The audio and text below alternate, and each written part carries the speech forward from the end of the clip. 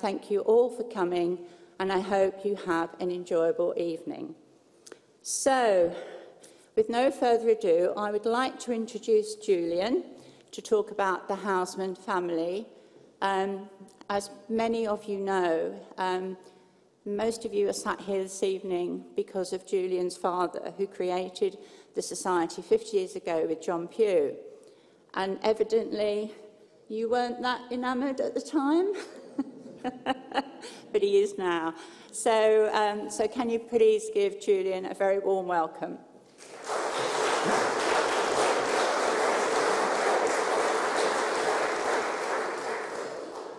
So, more or less 50 years ago today, uh, this scene you see on the screen was taking place. Uh, this is in, I think, John Pugh's kitchen, and he and my father are boring Sally Pugh with the project. And John Pugh was the first to um, write a series of articles about the Housmans in the Bromsgrove Messenger. My father read these and sent in corrections, as he always did in these circumstances, but the two of them became friends, and they jointly founded the Housman Society with my father as secretary and John Pugh as chairman. And at the time, uh, I was uh, a young librarian in Birmingham, more interested in young women than in poetry, and I thought, this won't last. And here we are, 50 years later, and the Housman Society is still thriving. Its journal is still uh, read and purchased by uh, universities all around the world. And I'm honoured to be part of the Society and to be giving this lecture tonight, a joint lecture of the Housman Society and the Bromsgrove Society. So, the man himself I know he's not in position this week. Uh, some uh, young lads tried to climb up the statue the other day and dislodged him, so he's gone away for repairs. But he will be back soon, and this scene will be reenacted. What you can see here is John Pugh and the Duke of Wellington, um, uh, or Duke of Westminster, I should say, um, uh, welcoming everybody to the unveiling of the statue of A.E. Housman. Now, The knowledge of the Housemans in 1973, when the Society was founded, was somewhat limited. It was based on the um, research of uh, A. Hausman's sister Kate, and she did her best, but in fact, in the 1930s, when she was working, record offices hadn't really got off the ground, and uh, they were relying very much on family traditions, and indeed, they handed those on to John Pugh and my father, and they introduced into uh, their book, Bromsgrove and the Housmans, all sorts of misconceptions that the Housman family themselves had. And I've spent ooh, the last 10 years trying to dispel some of these illusions, but when once they're in print, it's very difficult. And one of the main problems was their lack of understanding of a key figure in the Housman history, and that is John Adams. Those of you with excellent eyesight might see um, on the map there, which comes from an uh, 1852 sale catalogue, uh, the uh, the cotton mill, and it says John Adams immediately above it. You can presumably see the enormous uh, mill pond, uh, seven acres of water to power this mill. And John Adams is the reason that the Housman came to Bromsgrove. But he came 30 years earlier than the Housman family thought. So it's amazing how um, families can ignore um, uh, pieces of history. I presume the Housmans didn't emphasize John Adams because he was in trade. And he came here as a young man setting up a a hosiery spinning outfit in a former cotton mill, which itself had been, here's an image of it from 1868, this had been set up in the uh, 1780s as a cotton mill uh, by a firm from Preston who were facing um, industrial unrest, trying to introduce the water frame to the spinning of cotton. And within 10 years of building this mill, they went back to Lancashire because the uh, idea of spinning uh, cotton by machinery was well established then, and they didn't need to work in Bromsgrove so far away from their source. The same applied to the hosiers in Leicester, and they sent the young John Adams to Bromsgrove to uh, adapt all the machinery in the cotton mill to spin worsted yarn for the hosiery industry. So all the product went back to Leicester, so there must have been constant toing and froing uh, there and back. Now, the young John Adams wasn't satisfied with the cotton mill. He also bought a former corn mill and needle pointing mill, Charford Mill. Charford's in the news tonight, isn't it? So Charford Mill was added to the Adams Empire in 1800. So there was enormous capacity here for spinning worsted. Now, John Adams himself uh, uh, did get married, and he married uh, Dorothy Fisher in eight, 1792, and unfortunately, she died bearing his first child. So John Adams was childless. He didn't marry again for many, many years, and it turns out that he rather adopted his sister's children. Now, We'll come back to the sister's children in a minute, which is where the Housmans come in.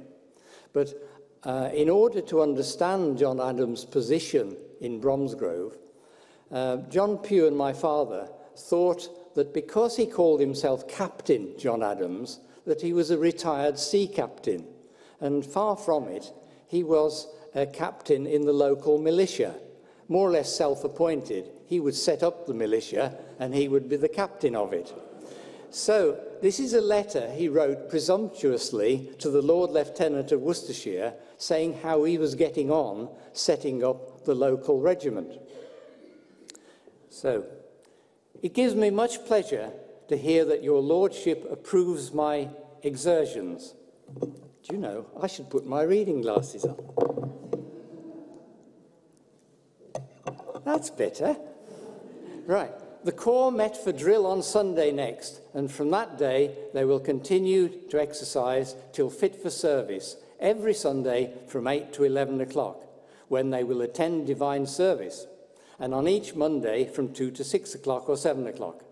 We have fixed upon a very cheap and neat uniform for the volunteers of this part of the county, and the whole to be of one kind, viz., felt cap with leather poke rosette and feather, black stock, scarlet jacket, gilt buttons, and yellow collar and cuffs, white linen covers for the breeches, and black leggings.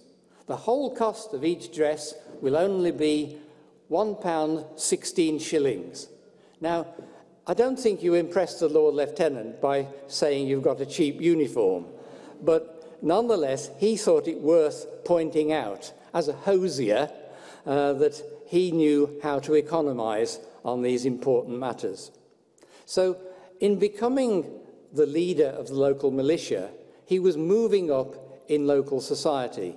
He was already probably the biggest employer in Bromsgrove, and now he was trying to move into the top circles of the county.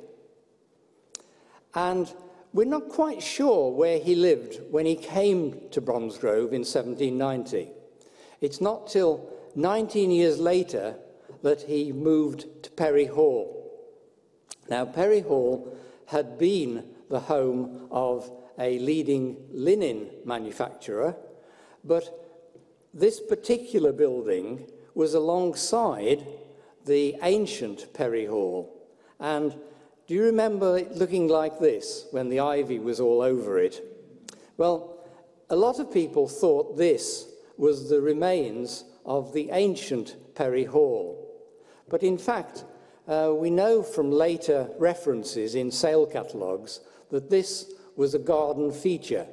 This was a vinery set up by the Housmans much later. We don't know where they got all the masonry from, but this is definitely not the ancient Perry Hall. And in fact, this was the Perry Hall that Adams moved into in 1819, which had been the home farm to the ancient Perry Hall. And this is the detail from the conveyance in 1819 of Perry Hall to John Adams. And we can show you a detail of the actual building. And can you see on the left it says house and then cottages. And so that house exactly matches the present day Perry Hall, now called Housman Hall. And clearly, um, John Adams bought an existing building. Can you see he also bought the uh, gardens on the other side of Kidderminster Road going up to the churchyard? So it was quite a big purchase, but then John Adams by this time was uh, the leading citizen of Bromsgrove. He could afford to splash out. However, by 1824, the cotton mill, or the worsted mill as he would have called it, was redundant. They'd established the principle, even in Leicester, that spinning by water frames was a good idea, and the labour force there, which had been so anti in the 1790s, were now accepting of the wisdom of spinning in the uh, best possible way. So they decided to sell off the worsted mill. And here we have the advert from 1824.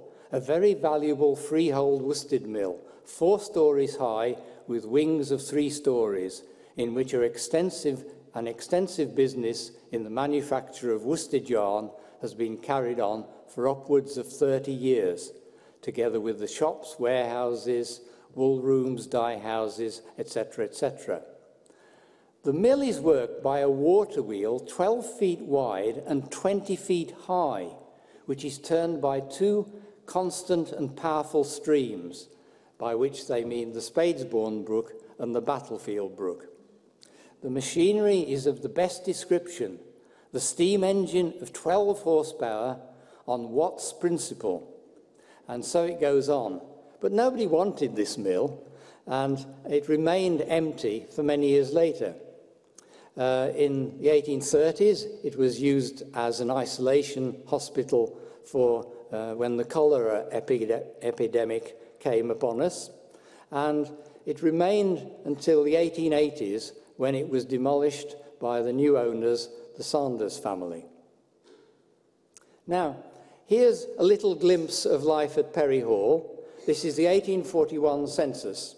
And right at the bottom, uh, again, those with eagle eyes should be able to read John Adams, age 71 now, in 1841, and he's a, um, well, he's a stamp distributor. That's how the Housemans knew him.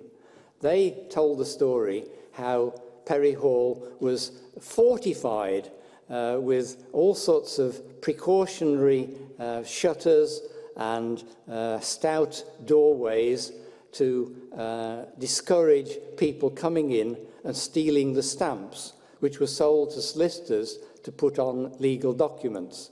And Adams had connived somehow to become the distributor for this part of Worcestershire, which was perhaps a reasonable little income to top up his savings from when he was the worsted manufacturer.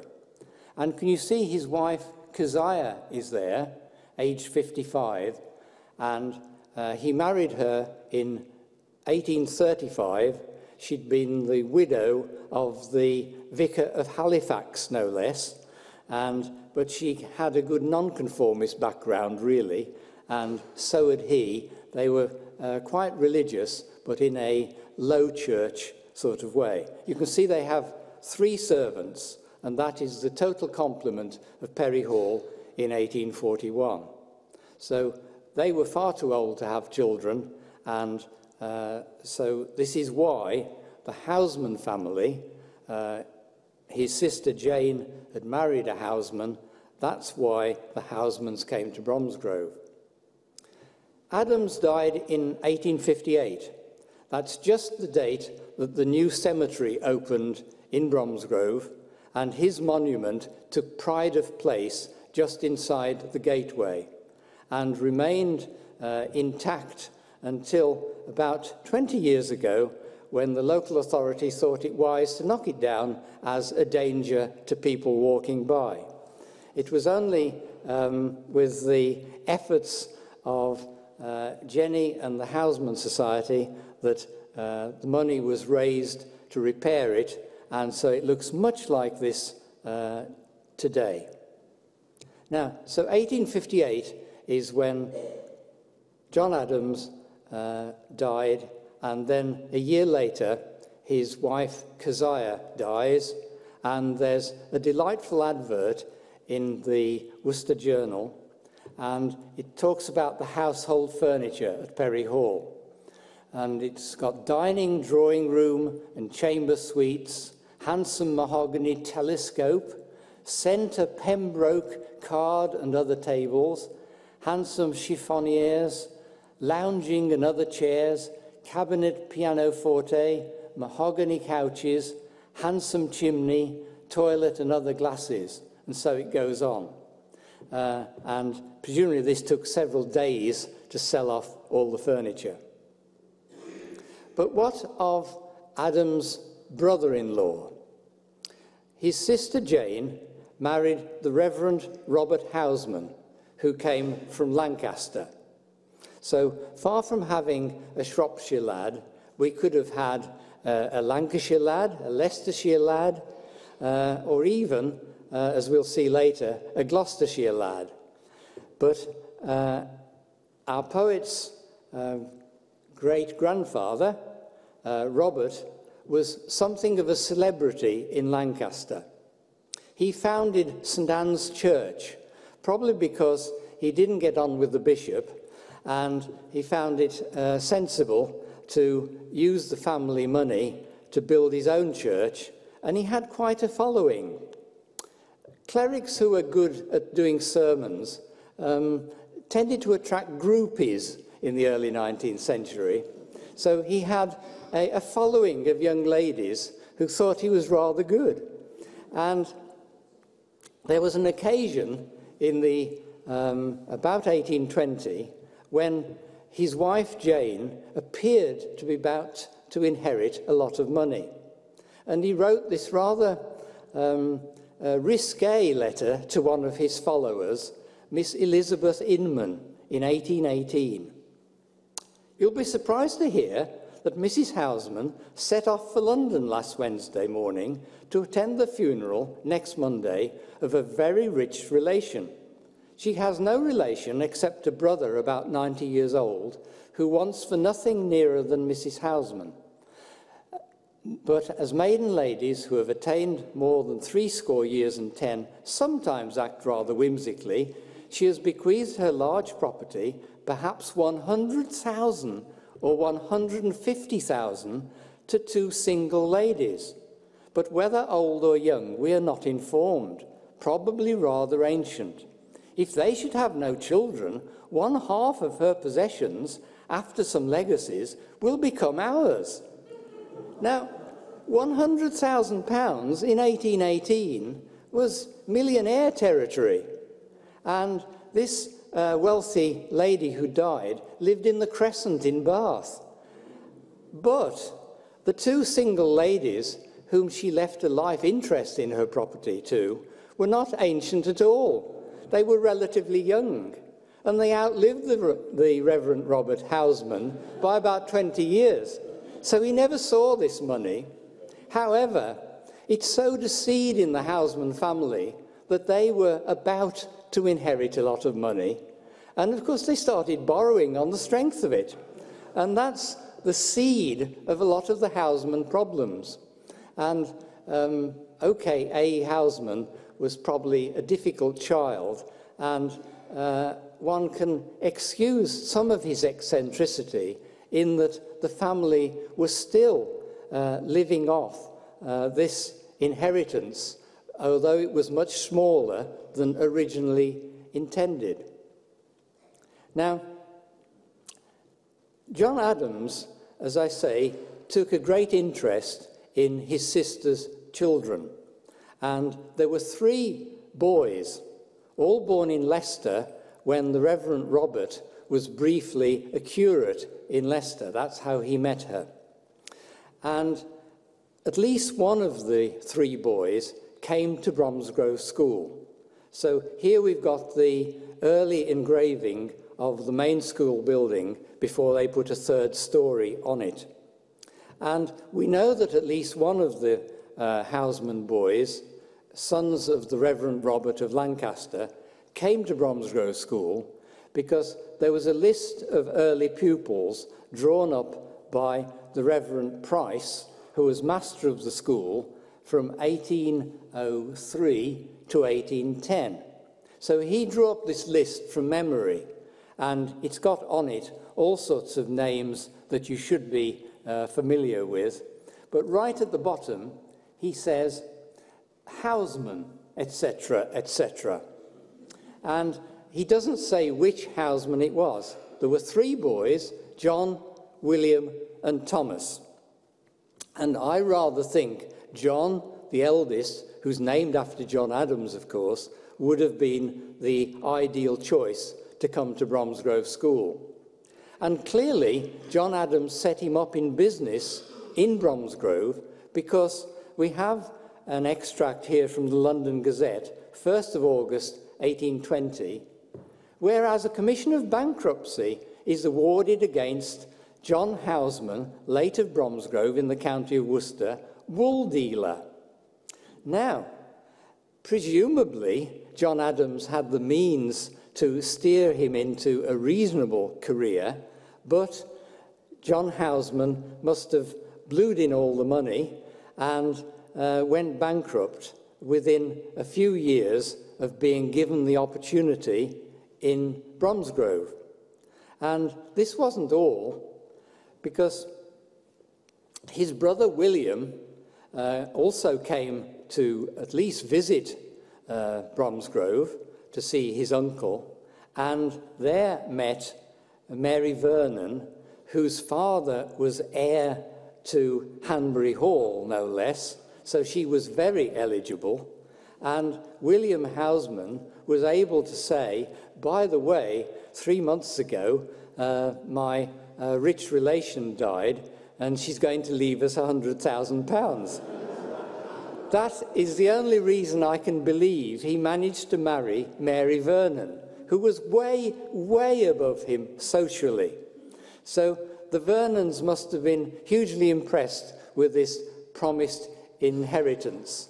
And indeed, in his bankruptcy hearings, because he went bankrupt in 1821, three years after they married, they talk about a ship uh, being due to come in. Well, that's another fiction, I'm sure. This is all to do with the lady in Bath and the perceived inheritance. So here we are. We're in 1821, and the second brother has gone bankrupt. and he's um, the bankruptcies against William Hausman, late of Bridge Street Blackfires in the City of London merchant. Now, William, How um, William Hausman certainly worked for John Hausman, for, for John Adams, in London in his capacity as a solicitor, but I don't think he was very good at it and certainly he cut too many corners, as we will see from his subsequent bankruptcies later on. So these Housmans uh, that John Adams had adopted turned out to be a mixed blessing and could bring discredit on the Adams household rather than credit. Now, William Housman, uh, despite his bankruptcy, in 1827 bought this rather nice house in Gloucestershire, Woodchester House, with his wife's money. And they lived there happily for about 10 years until he got into railway shares and he went off to Salisbury to become the secretary and treasurer of a railway company. And he lived in this rather nice house in the close in Salisbury. But there he went bankrupt again. And as if that weren't enough, he left um, uh, Salisbury, briefly went back to Woodchester, and then he turns up in Brighton in 1851, where he goes bankrupt again. This time he's embezzled a lot of his clients' money, including a chap who ran a school in Brighton, and uh, Housman went off with his entire savings. So, The um, bankruptcy proceedings in Brighton have the note that Mr. Hausman has disappeared. And the Hausman family tradition was that he went to um, America with an actress. Now, he was in his mid 60s at this time, and he had no money. I don't think he'd be very, very attractive to the average actress. So I think uh, he went somewhere where he could lie low, and we've got odd traces of a William Housman a bit later. Uh, uh, uh, advising people on financial affairs, stupid though they might be. Uh, but he never surfaced again, and we don't know where he's buried or exactly where he died. So here's a challenge for any family historians in the audience, Mike. Now, the third son was um, a model of good behaviour. This is Thomas Housman, uh, born in um, Leicester in 1795. And he uh, goes to Cambridge, uh, becomes a cleric, and his first posting is not far away from here at Kinver. But Kinver uh, was um, not even a vicarage, it was a curacy, and the pay was lousy. So he stayed there for 15 years. So he can't have impressed the bishop much. And he left under a cloud in 1834. Uh, there must have been some internal strife in Kinver, and he was passed over for a promotion, and the local schoolmaster got the job of curate at Kinver.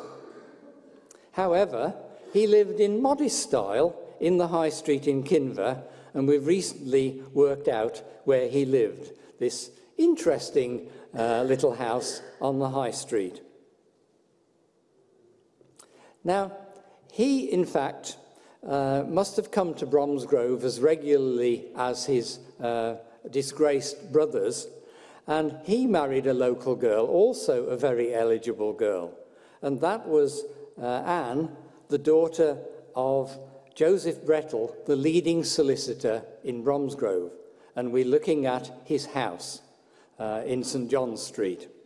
So, uh, having married her in 1822, uh, they had quite a large family, and when uh, Joseph Brettle retired from a solicitor's practice, he uh, bought a house in uh, Catshill uh, and decided uh, to um, uh, live there. And he also uh, promoted with John Adams the new church at Catshill. And who should they choose as the first curate there but the Reverend Thomas Housman, who'd lost his place at Kinver and hadn't yet found one. So, I don't know whether you call that nepotism or uh, luck, but here he is. He's the first incumbent of Catshill. And this is where he went to live with his father in law. So, this, the clock house at Fockbury, became more or less like a vicarage for Catshill. And they lived there comfortably, and uh, jo Joseph Brettle died there, and his unmarried daughter stayed there with the Housmans until the mid 1860s when the Reverend Thomas Housman retired from here and he went off to this charming house, which the Housman Society visited a couple of years ago in Lyme Regis. And you see, each of these houses are rather grand, and the actual income of the Reverend Thomas was extremely modest. So, without the support of John Adams, Joseph Brettle, and the lady in Bath, they'd have been nowhere. And instead, they lived in some style, particularly in Lyme Regis. This is one of the most delightful houses there, with a fabulous view over the town to the sea. And there, the Reverend Thomas Housman, the, the youngest, third uh, son of uh, Jane Adams uh, come Housman, he died there in 1870. But they take his body back to um, Catshill, and here's the inscription on his monument there Thomas Housman, priest, to whom was uh, entrusted this church with this God's acre, this parish. He deceased on the 24th day of January 1870, aged 74 years. So, a relatively blameless life compared with his brothers, certainly. But the, the Housman malaise rubbed off on the Reverend Thomas's son, Edward, the father of the poet. He looks a bit of a rough diamond, doesn't he, in this photograph? And no doubt he, he was attractive to the ladies, but um, uh, rather uh, square jawed and uh, not um, sort of um, social material, you'd have thought. Anyway, he was certainly attractive to Jane Williams, daughter of the uh, rector of Woodchester in Gloucestershire. The Housmans visited uh, Woodchester regularly uh, because the house there still belonged to um, uh, William Housman, the disgraced lawyer who's disappeared, but his wife, uh, formerly a Vernon, still hung on to the ultimate ownership of the house at Woodchester. And the Housmans visited there with the then tenants and later the owners of that gorgeous house. This is um, Edward Housman's chosen bride, Sarah Jane Williams. She was a very cultured person. She wrote poetry, as did her father, and she was a very good mother. She um, uh, bore seven children, which rather wore her out. And she died in 1871 on A. Housman the poet's 12th birthday. He never forgave God for this, and he became uh, first a humanist and then an atheist. And uh, this having a, a grandfather and a great-grandfather who were Church of England ministers didn't um, affect him. He was uh, determined uh, not to believe in anything after his mother was taken away so cruelly. Now, the poet is born to Edward and Jane Hausman in 1859 at this house in Fockbury. It's called Valley House, and the Housman family believed that they owned this house, but of course they didn't. Uh, it was rented from a local landowner, and they were only there a year until John Adams died and Perry Hall became vacant. So the young Edward and Jane uh, moved with their uh, infant child, Alfred Edward Housman, to become the Shropshire lad. They moved from Valley House to Perry Hall. And here's another view of Perry Hall, still with the ivy on it.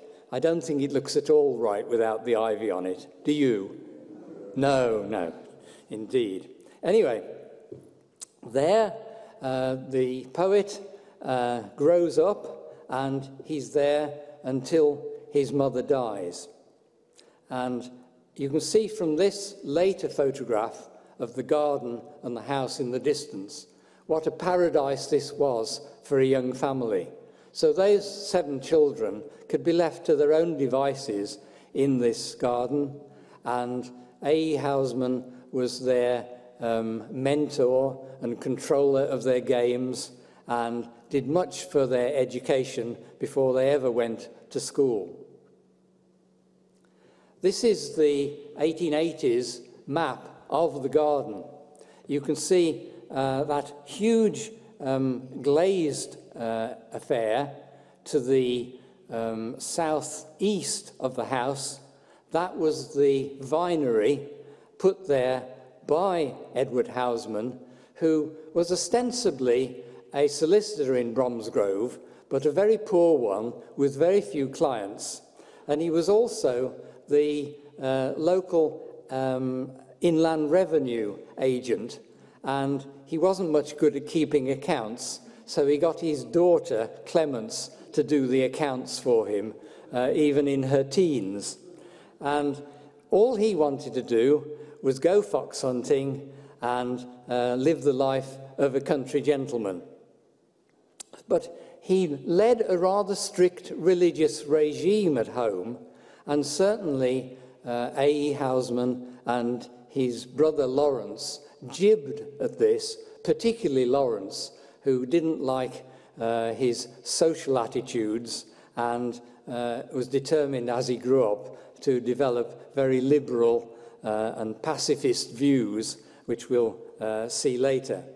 But this is the environment in which the seven children grew up. Here is A. Housman, uh, aged about six, with his younger brother Robert in the garden at Perry Hall. There's a particular description in Laurence's um, autobiography where he talks about uh, A.E. Housman um, explaining to them the solar system, and they all had to um, revolve around him. So they adopted the identity of planets, and that's how he taught them astronomy. After the death of his mother in 1871, the family decided to move out of Perry Hall, presumably because of the associations with the mother, and because a new mother was being wheeled in. And here she is. She's called Lucy Agnes Housman, and she's one of the daughters of the um, disgraced solicitor who's disappeared ostensibly to America, but we don't really know where he went. And she was living in London, and she's called upon to come and look after the young family and she marries Edward Housman uh, soon after. And indeed, uh, they rather warm to her. Um, Laurence Housman, who was a very precocious child, indeed uh, proposed to her at the age of 11 before her father did. Anyway, she did her best to look after the children, and certainly from the letters that A.E. Housman wrote to her, he was very fond of her. So they go off to the uh, clock house instead of Perry Hall, and in 1875, uh, Edward Housman's financial position is so uh, critical that uh, his mortgage on Perry Hall, which probably the family don't know anything about, is foreclosed upon by the man who lent the money. And so Perry Hall is uh, put on the market. At this time, uh, uh, A.E. Housman is here at Bromsgrove School, and imagine his fellow pupils saying, Oh, I believe your house is up for sale. And uh, how do you account for that? And he'd be a young, sensitive soul, probably bullied dreadfully, but he was a favourite of the headmaster, Millington, and presumably he was afforded some protection in that way. But if you read his brother Laurence's autobiography, then Laurence was definitely badly bullied and got no protection whatever, and he disliked Millington greatly. So the two of them had slightly different experiences of coming to Bromsgrove School. However, here's the advert for their father's house in 1875, a commodious residence standing in its own grounds of about two acres, containing dining and drawing rooms, each 22 feet by 16 feet and 12 feet high, library, schoolroom, 25 feet by 12 feet, and so it goes on. And it says, the premises also comprise a vinery, 90 feet by 18 feet, vines in full bearing. Edward Housman even got a patent for heating greenhouses. That's where his interest lay, and he paid little attention to paying the interest on his mortgage, which is why this sale took place. Eventually, his younger brother, who was a cleric in the West Country, came to the rescue and bought Perry Hall and persuaded them to sell the clock house so that some uh, thing came out of the ruins and the family moved back to Perry Hall. It's a much complica more complicated affair than I've just outlined, but I won't bore you with the details. So they're back at Perry Hall by 1880. By this time, uh, A. Housman is ready to go off to Oxford, and his father remains at Perry Hall for the rest of his life. Now, this is a clipped bit of a family photograph, and Edward Housman looks a bit unkempt, and other versions of this photograph have been doctored to tidy up his hair and perhaps cut his beard a little so that he doesn't look quite so aggressive. But this is a man who liked his drink and was quite amusing company to his friends. Jo, if she was here, would back me up on this. She uh, was recently uh, the bailiff of the court leet, and she described to Housman Do how Edward Housman was invited to court leet dinners to give the toast to the bishop and the diocese. And his uh, responses were highly amusing and rather critical of clerics in general. And he was able to excuse this by saying his father and his grandfather were clerics, so he should know. But if you read the newspaper accounts of his speeches at these uh, dinners, they're incredibly rambling and disjointed and he'd obviously had far too much to drink, certainly by the end of the speech. And you can't imagine why they invited him back every year to give them. They must have thought he was a rather amusing turn and to be tolerated. Anyway, he lived out his days at Perry Hall until 1894 at the generosity of his son, the cleric in the southwest. And only after he died uh, did his widow move out, and Perry Hall was again genuinely on the market. Here is his gravestone in Catshill Churchyard, and it says Edward Housman, and it gives his dates that he died in 1894, aged, is it 83 or is it 63? Uh, I can't read it on my screen here. Perhaps you can read it off the big screen. Anyway, here is the advert for Perry Hall in 1895. The home contains handsome entrance hall, dining and drawing, breakfast and smoking rooms, seven bedrooms and dressing rooms, with capital kitchen and other domestic offices. The outbuildings comprise coachman's cottage, stabling, coach house, groom's room, harness room, etc. And it mentions the gardens with uh, planted with uh, shrubs and trees, and a conservatory and vinery forming one range is well built and supplied with heating apparatus, uh, patent heating apparatus, I might add. So, 1795 is really when the Housmans depart from Bromsgrove. And Edward's widow, now looking rather um, fearsome in her older age, she retires to Malvern in a much smaller house and dies in 1907. But the family visit her there regularly, and A. Housman wrote to her very regularly and very indiscreetly, actually, about his personal life. You don't really uh, tell your stepmother that you're going out with a, um, a boatman in Venice, do you? But he did. So, here, here is the young Alfred Edward Housman, aged 18, going off to Oxford uh, to make his way in the world. Uh, remember, he'd been more or less the head boy at Bromsgrove School, certainly ap the apple of the headmaster's eye, and at Oxford he also starred, winning all the poetry and classics prizes, at least in the first year or two. But very soon he meets Moses Jackson. Jackson is a scientist, uh, seems to waltz through his course, and in the evenings uh, he and Housman have long conversations into the early hours when Housman should be writing his essays. He's hanging on every word of Moses Jackson. And Moses Jackson appears to be thoroughly heterosexual, but uh, Alfred Edward Housman is obsessed with him. So much so that when Jackson leaves with a first class honours degree, he becomes something important in the patent office in London.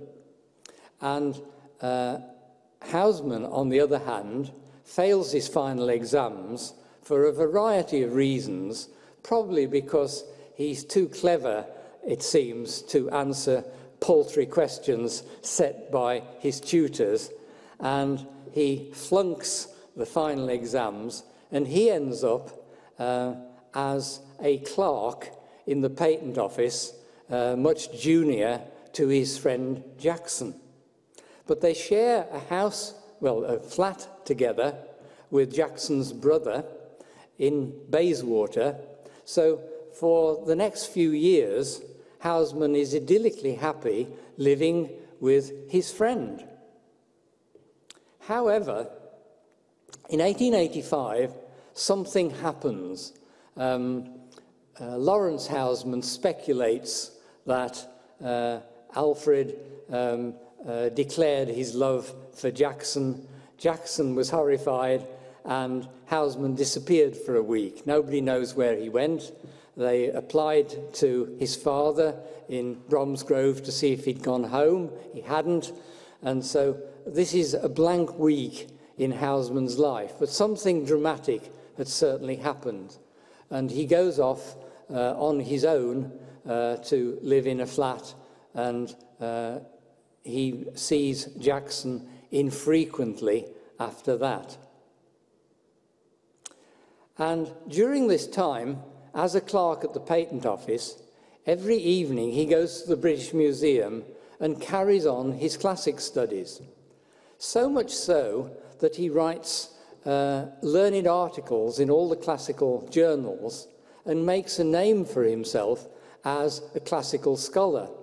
So much so that in 1892 he applies for the professorship of Latin at London University. And in his application, he says, if I am unsuccessful, I would like to also apply for the professorship of Greek.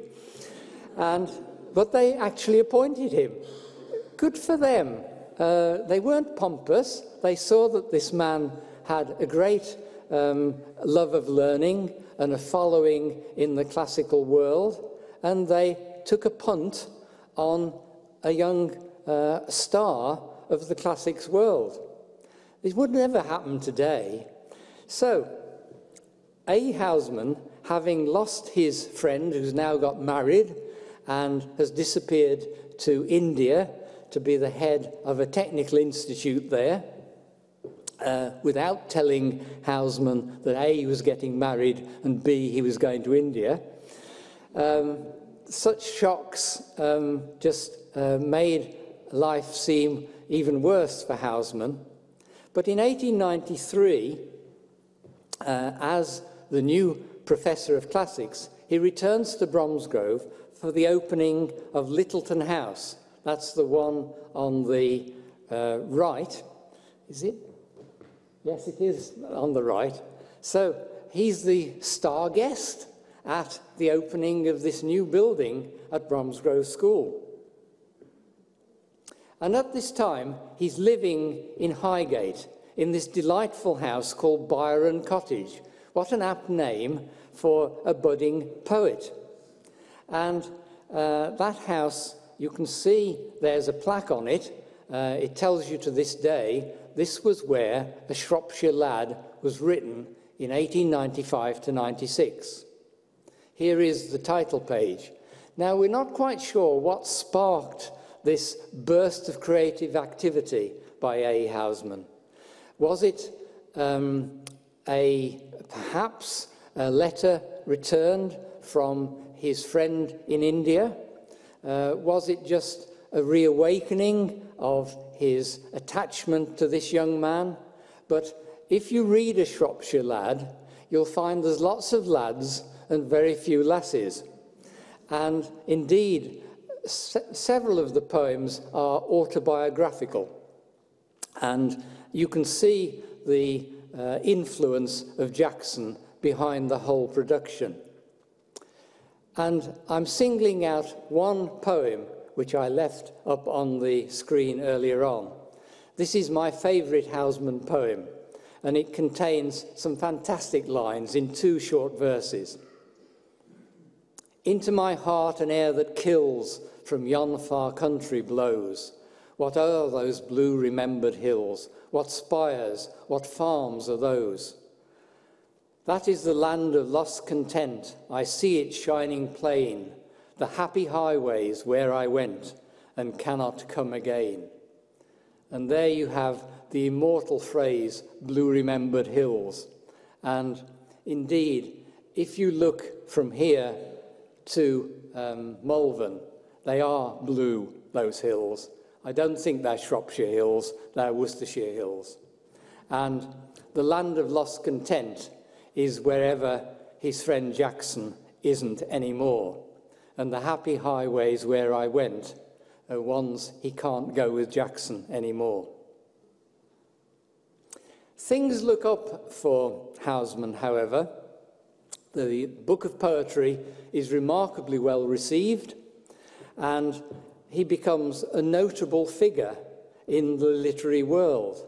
And his influence in classics is also growing, such that in 1911, when the professorship of Latin at Cambridge comes up, he applies and gets the job. This is a chap who failed his finals at Oxford. Isn't this amazing? I wish I'd been that lucky. I have a very checkered academic career. Anyway, so he's installed in Cambridge in 1911. Another occasion in which he bursts into poetry is probably influenced by his friend Jackson, who's now moved to Canada to be a farmer and is ailing and expected soon to die in 1922. And Housman gathers together uh, poems that he didn't feel brave enough to put into a Shropshire lad, and also some new poems, and produces last poems in time to send the new volume to Jackson in Canada before the, the uh, beloved friend dies.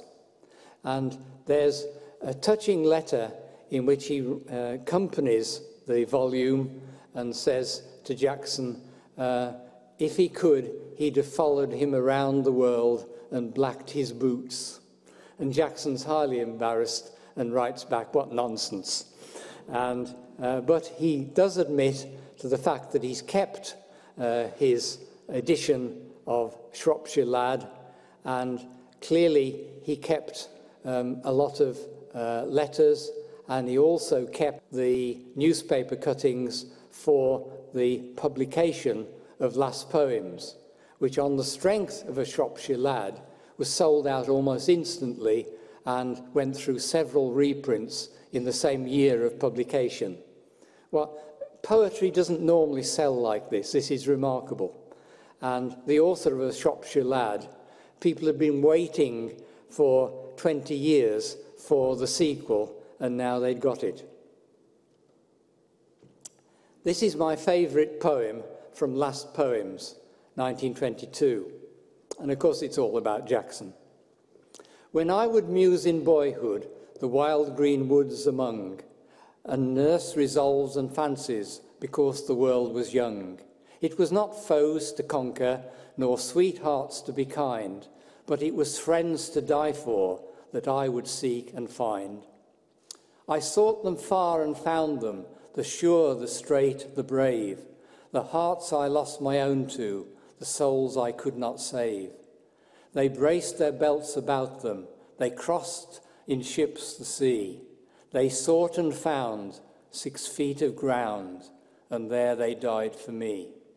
I think that phrase, they sought and found six feet of ground, is why Housman is somewhat regarded as a war poet, although that wasn't his intention. This is all about Jackson. And what of uh, A. Housman's uh, family?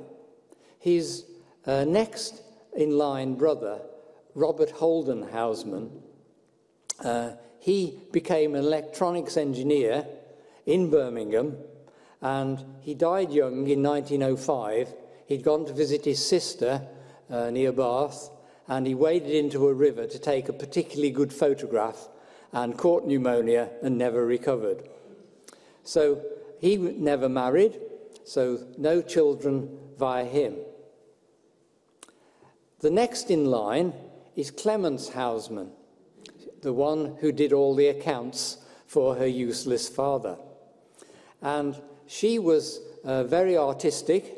Uh, she wrote novels, in, including one called The Werewolf, which is now incredibly valuable and sought after.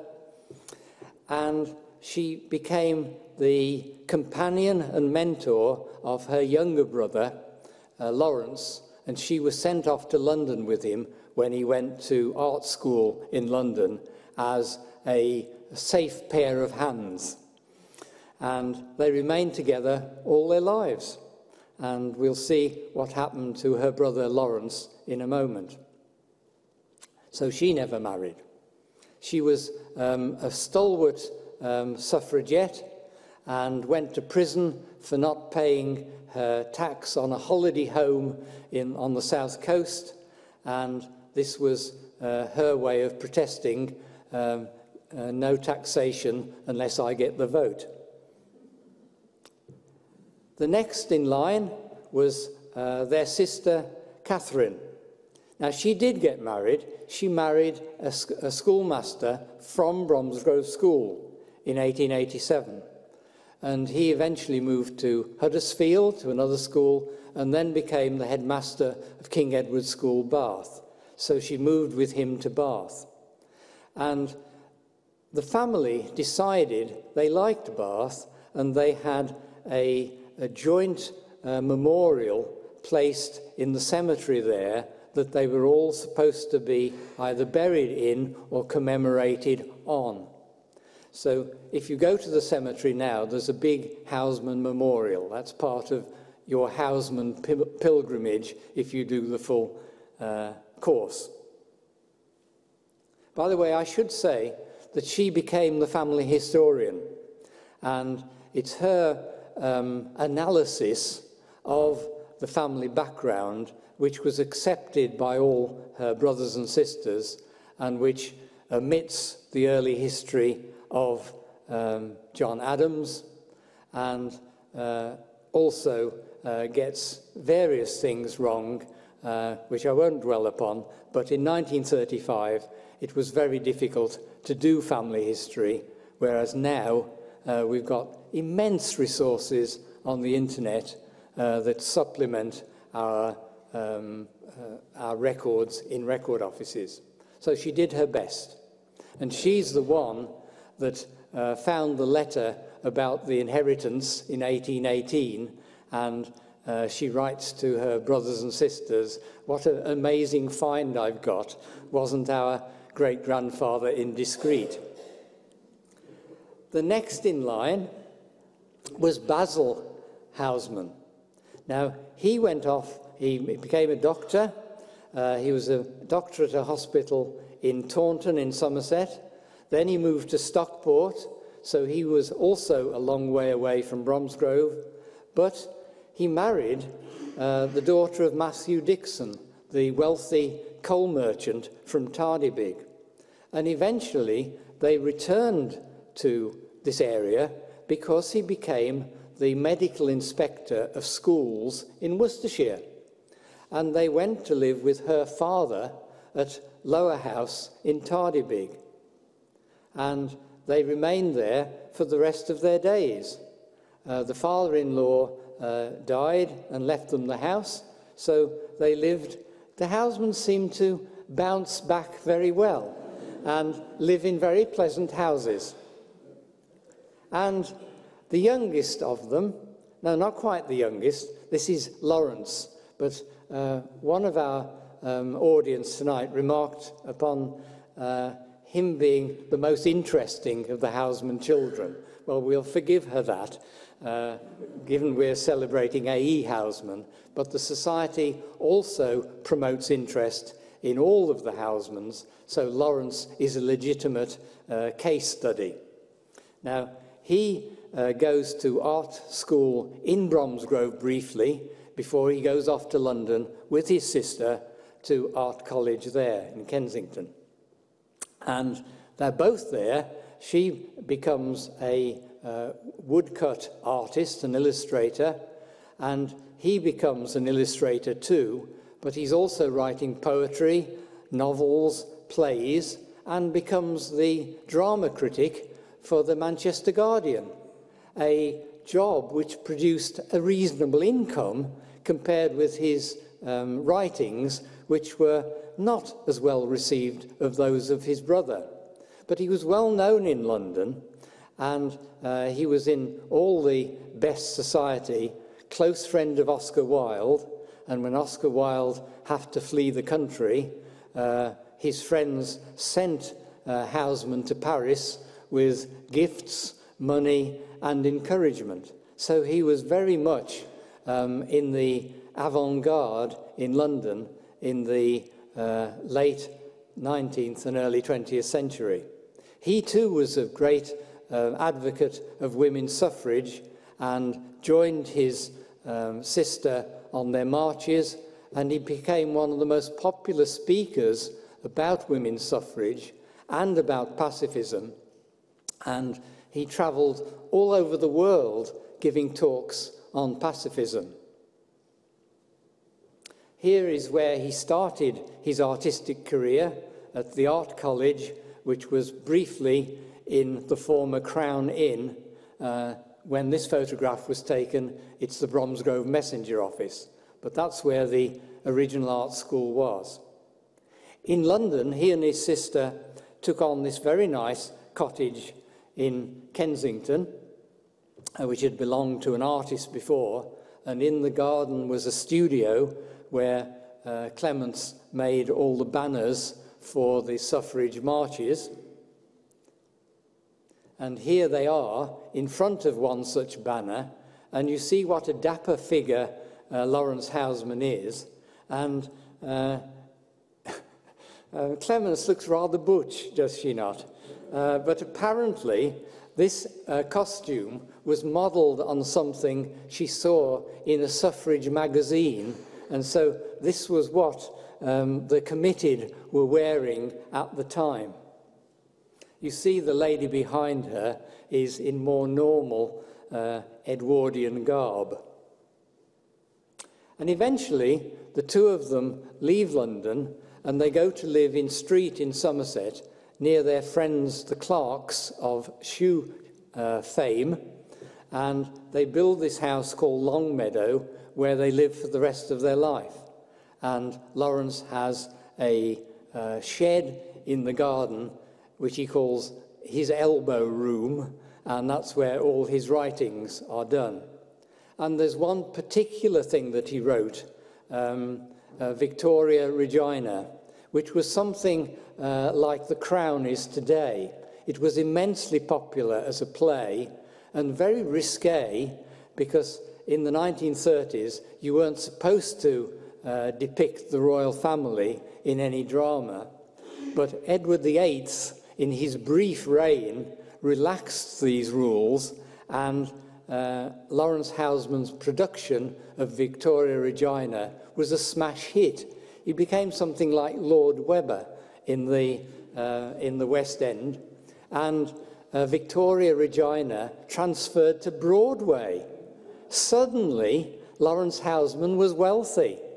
He had a chauffeur, a yellow Daimler, and he used to drive his brother around England on holiday well, he didn't drive, the chauffeur drove, but they must have uh, looked a, a right pair um, uh, going to visit all their chums in the literary and dramatic world, uh, including a visit to Broadway to uh, meet the uh, famous um, American actress Mary Anderson, who lived there, and the Hausman Society are going to her house where her grandson still lives, and we're going to reenact this visit this coming July. And finally, we've got the youngest of the family, George Herbert Housman, who died in the Boer War in 1901. And again, some of the poetry, uh, there's, I think in last poems, the word death is the most common word uh, beyond the. And uh, we read it um, as a group in Bromsgrove School um, on one occasion, the Housman Society, and we all sat in a circle and read um, a couple of poems each. And uh, it was very morbid to see them all uh, read at one stage. But uh, certainly the death of his brother did influence him, and there's lots of references in Housman's poetry to soldiers and to bereavement. And so, Housman himself lived out his days in Cambridge. Here he is age 70, and here's the room in Cambridge that he was moved to uh, shortly before he died, a ground floor room instead of the one he used to have two floors up. And he used to joke that he ran up these stairs in the hope that he would drop dead at the top. And instead, they moved him into this more cautious room uh, on the quad in Trinity College. And it's here that after his death, Laurence Housman went to sort out his papers. And there, above the uh, mantel shelf, was the picture of Moses Jackson. And there were many poems that Housman hadn't felt able to put in his published works. But Laurence, uh, being far more gregarious, decided that a lot of them would make a very uh, jolly further volume. So here it is, more poems, published months after the poet's death, uh, edited by his brother, with some poems which are rather indiscreet. And this is my favourite, and you can see why um, A.E. Housman might not have put this in the previous volumes. Because I liked you better than suits a man to say, it irked you, and I promised to throw the thought away. To put the world between us, we parted stiff and dry. Goodbye, said you, forget me. I will, no fear, said I. If here where clover whitens, the dead man's knoll you pass, and no tall flower to meet you starts in the trefoil grass. Halt by the headstone naming the heart no longer stirred, and say the lad that loved you was one that kept his word. There we are. Thank you.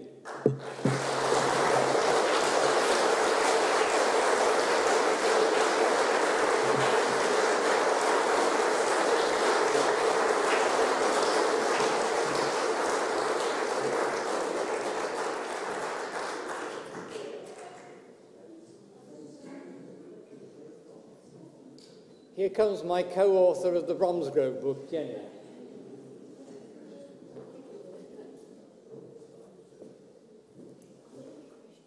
Are you going to use the microphone?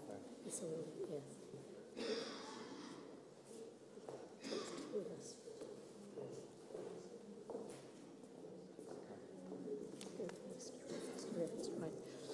Right.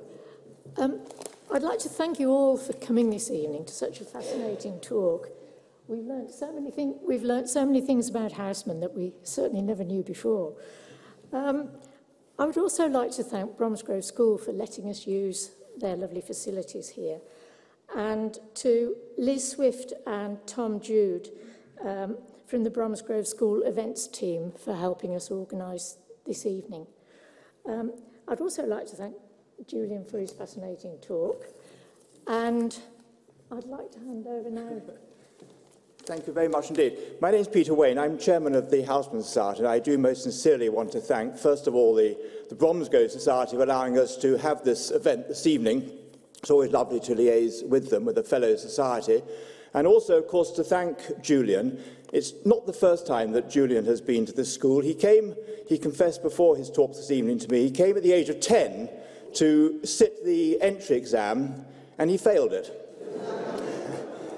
so I think either I should reconsider his position as editor of the journal, or else the exam didn't really test some of the skills that make somebody successful and succinct and very entertaining, as uh, Julian has certainly been uh, this evening.